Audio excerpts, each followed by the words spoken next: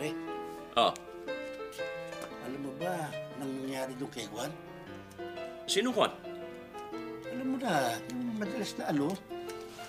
Si Juan, yung madalas na sa ano? Ah, si Juan! Yung bang naging bata ni Juan? Oo, alam mo ba? Oh, Tatlo na anak niya kay Juan.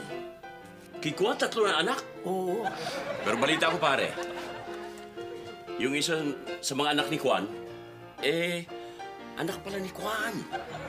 oo, Oo, anak ni Juan. oo.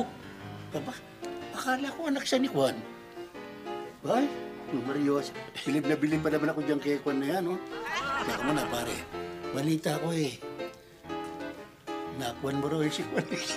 Ito naman eh. Hindi ko naman nakuhan. Paminsan lang eh. Nakuhan ko.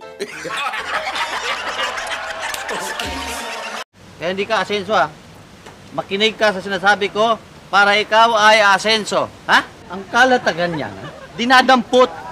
Ayan. Ayan. Ayan. Huwag na huwag kang mahiya. Ha? Sa lupa. Ang lupa ay natural. At diyan ka rin babalik. Hmm? Itong ganito. Dito mo lalagay yan. Yan. Nasaan yung kwarto ng grade 6 dito?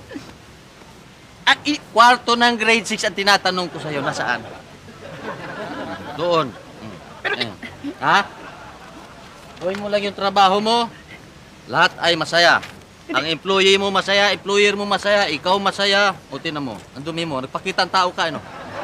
Dinudumihan mo yung damit mo. Eh, dito, sa punasan mo ipunas, hindi dyan. Matuto ka, matuto ka.